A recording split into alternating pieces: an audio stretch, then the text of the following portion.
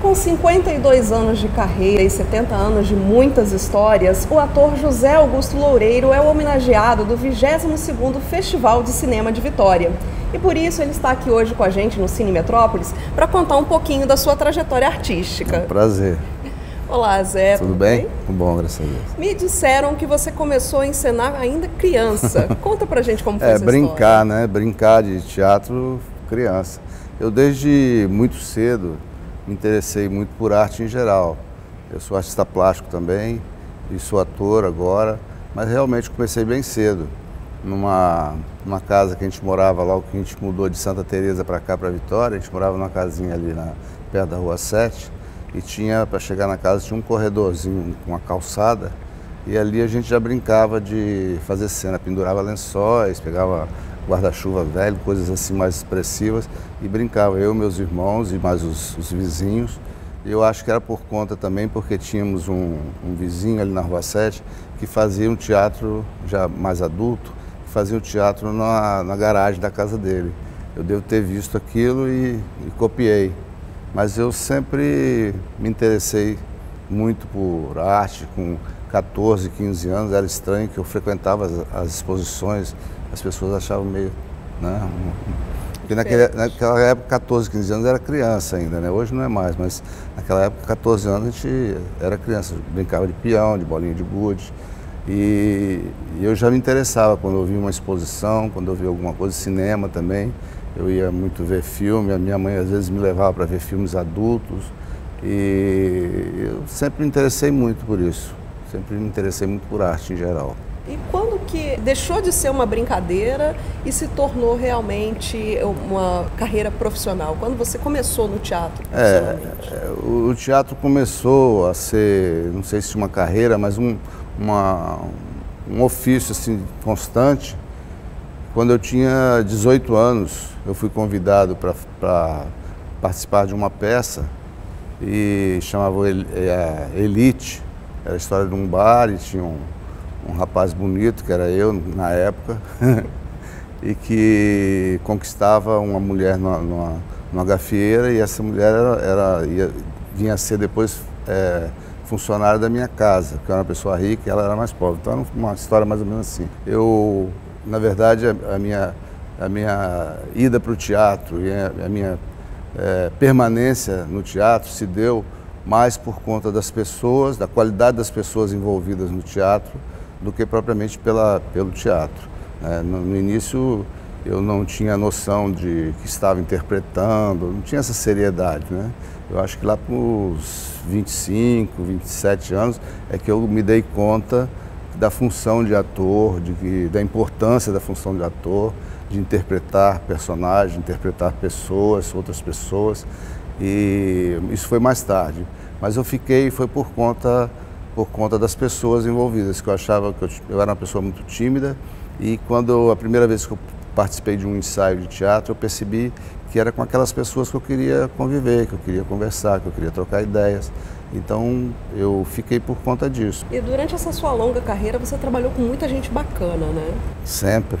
Eu acho que todas as pessoas com quem eu convivi, todas me acrescentaram muito e todas são de muita importância. Aí tem uma experiência engraçada que foi quando eu fiz é, Policarpo Quaresma, Herói do Brasil, eu fazia um Tenente Antonino e eu, foi, isso foi pela primeira vez, eu lidei com atores globais, tem até um fato engraçado que a gente foi é, jantar num, num restaurante em Tiradentes, a gente estava filmando lá, e aí juntou um monte de gente na porta para pegar autógrafo, uma garotada, adolescentes e tal. E durante o, o, foi um almoço, foi jantar. Durante o almoço eles foram pegar assinatura, é, pegar a assinatura de todo mundo, que eles queriam autógrafo de todo mundo. Aí a menina chegou com um papel já cheio de autógrafo para mim, eu, eu assinei também. Ela olhou para mim e falou assim, você é de qual novela? Eu falei, nenhuma, sou um ator capixaba que estou aqui no meio das feras.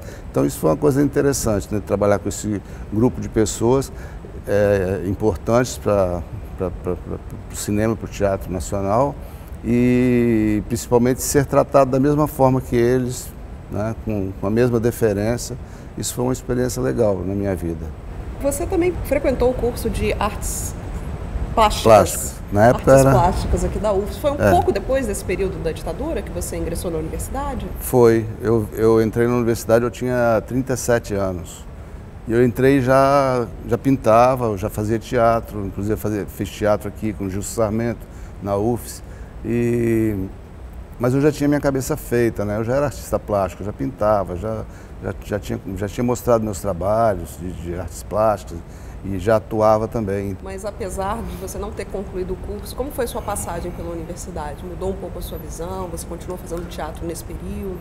Sim, não, mudou, mudou bastante, mudou bastante. Me deu base, algumas, algumas matérias que eu, alguns professores que eu tive, me deram muita base, tanto nas artes plásticas como no teatro, né, de pesquisa, história da arte e tal. Foram coisas que me acrescentaram muito. Dentro da UFES eu aprendi bastante coisas que me interessavam, só não quis aprender o que não me interessava. Nesses seus 50 anos de, de trajetória artística, Zé, você acompanhou bastante também o cenário cultural capixaba, né? Sim, você, sem dúvida. Você percebe algum momento de mais efervescência cultural aqui no Estado? É, eu, eu participei, inclusive, porque eu trabalhei na, no, no que se transformou na Secretaria Estadual de Cultura, que foi a Fundação Cultural. Então, eu sempre participei muito ativamente de todos os movimentos, não só na área de teatro, mas de todos, todos os movimentos eu sempre estive muito atento para isso, né?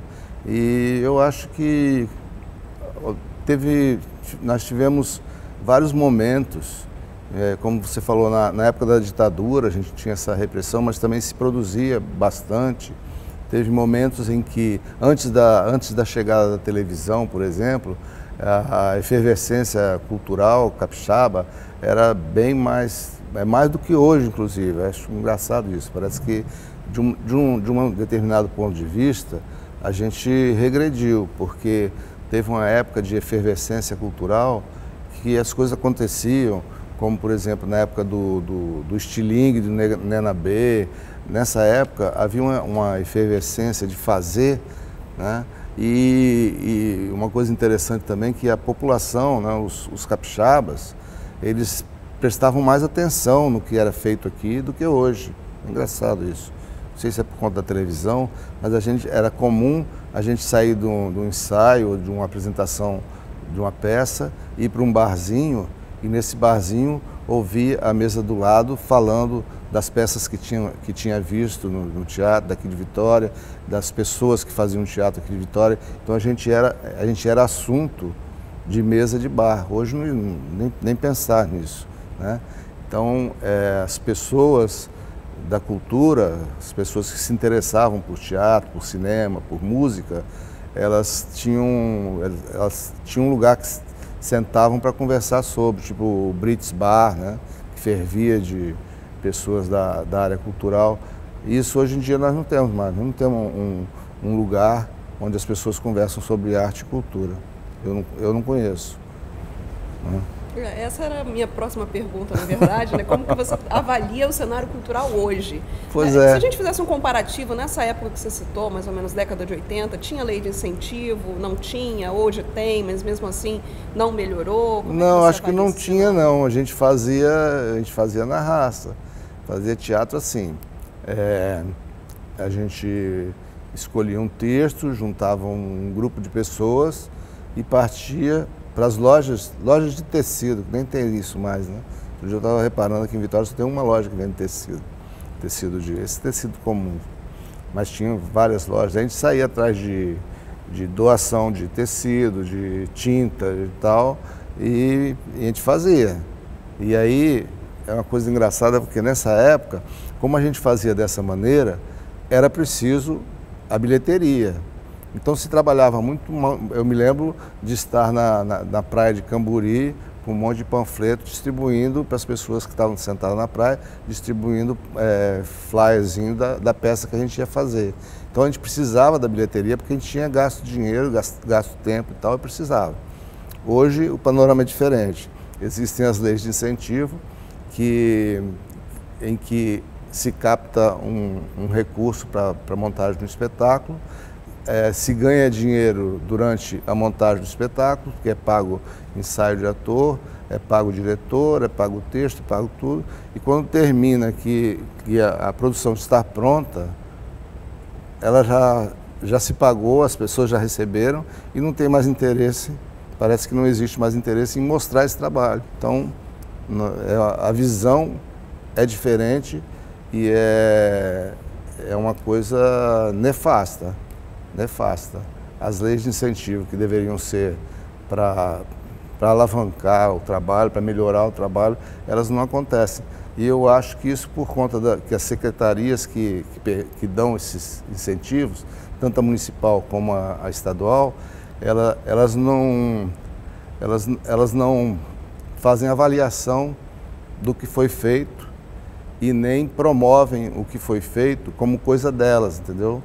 Não existe, por exemplo, nas, secretarias de cultura, é, uma, uma atitude de falar assim, ó, esse trabalho é nosso, a secretaria bancou, botou dinheiro nele, esse trabalho é nosso, ele tem que fazer sucesso. Ele tem que ir para fora do estado, ele tem que ir para o teatro e ficar um mês, ele tem e, e a gente chancela dizendo, ó, isso aqui é coisa boa, porque foi, fomos nós que fizemos. Não existe isso. Já as secretarias de cultura, elas, elas em geral, elas funcionam como repassadoras de verbas. Elas, o assunto cultura é muito pouco falado dentro dessas secretarias.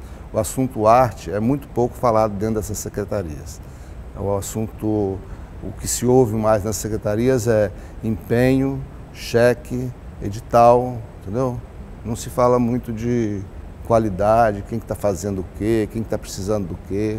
Vamos falar um pouquinho da sua vida atual. Como é que está a sua relação com os palcos, com o cinema? O que, que você tem feito nos últimos tempos? É? Eu sempre trabalhei.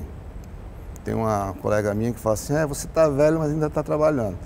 É verdade, eu, eu, eu acho que não, eu aposentei agora há pouco tempo, mas estou num, num momento, tem quatro meses, eu estou num momento de reavaliação do que eu vou fazer. Acho que vou me dedicar mais a artes plásticas daqui para frente, eu estou pensando que vai ser isso, porque está meio difícil esse trabalho com grupo, né, com teatro e tal. Mas tenho feito, tô agora, estamos ensaiando uma peça, estou substituindo um ator na peça Chico Prego, para a gente estrear agora em novembro. É, pouco tempo atrás nós fizemos, nós montamos A Casa Escura, foi uma peça que foi apresentada lá na, na Rua 7, na casa da, da Stael. E eu não paro não. Zé, você vai receber uma homenagem esse ano no Festival de Vitória, mas não é a primeira homenagem, nem o primeiro prêmio que você recebe. Como é que você encarou essa novidade? Vai ser diferente em 2015? Ah, é muito diferente e é muito bom né, ser lembrado, porque é um, é, a gente o que a gente faz não é, não é para ganhar dinheiro, claro, que não ganha dinheiro. Então, essa, essas recompensas são sempre muito bem-vindas. A lembrança né, de, de pessoas, de amigos, né, são amigos que me escolheram para ser homenageado, certamente representando outros tantos atores que, que trabalham aqui no Estado, mas de qualquer forma a lembrança é uma coisa muito boa, eu me sinto muito bem.